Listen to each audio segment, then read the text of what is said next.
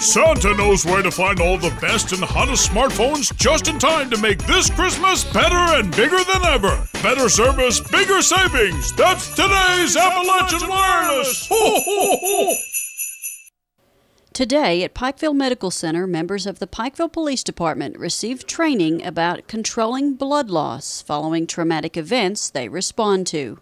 If they come upon, say, an accident or they go to a domestic violence and there's a patient there that's bleeding, um, to show them basically what they need to do, maybe to save that person's life.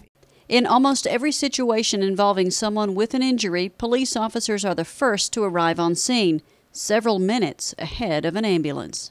You know, we got to wait for our EMS to get there, and as explained to us in this class, there's things that, that we can do in those first few seconds, you know, whether it's just applying pressure to a wound or, or applying a tourniquet to stop the bleeding.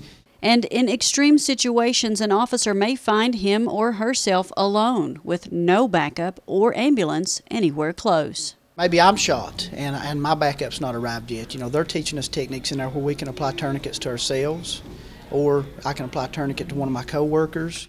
Officers received information which included hands on training using many of the items discussed by the trauma surgeons. And thanks to Pikeville Medical Center, every officer at the police department received the first aid supplies.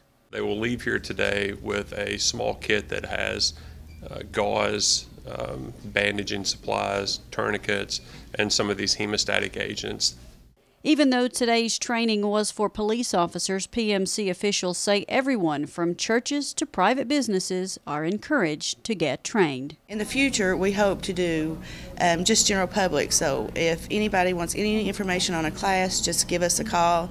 That number is 606 218 6334. In Pikeville, I'm Shannon Deskins, EKB News.